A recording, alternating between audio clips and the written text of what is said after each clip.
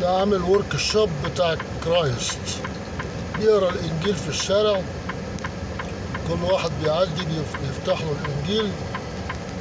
كاتب workshop Christ not مش عارف إيه.